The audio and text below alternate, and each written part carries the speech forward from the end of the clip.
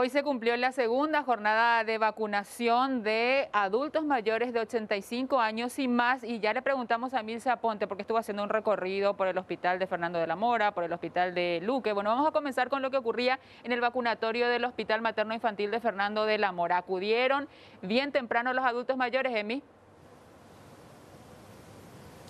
Antes de que el hospital habilitara el puesto de vacunación, ya los adultos mayores estaban allí esperando en la silla, sentados en condiciones óptimas con el documento de identidad y por orden de llegada. La prioridad de los trabajadores de la salud siempre es inmunizar a los adultos mayores que van llegando y finalmente se les aplica a los trabajadores de blanco. Esta mañana en una jornada que valoró muchísimo a todos, especialmente los adultos mayores que estuvieron recibiendo la dosis en un trabajo muy ágil, y también decían con toda la prolijidad que esto requiere.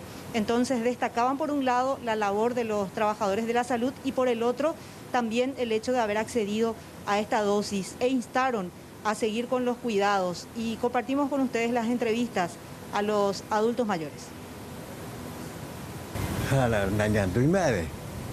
¿Eh? Ya checaron, hoy cogina la mitad, 94 años. ¿En Barete, cogina? Eh. 94 años, Areco. Tengo con 93, 94 años, pues da su firma, agradecer a Dios y la Virgen.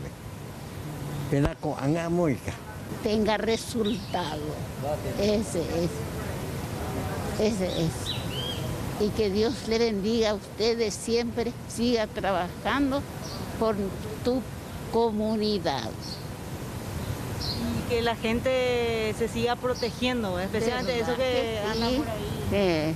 y eso es lo que es más importante, que se siga cuidando. No porque se puso la vacuna ya deja.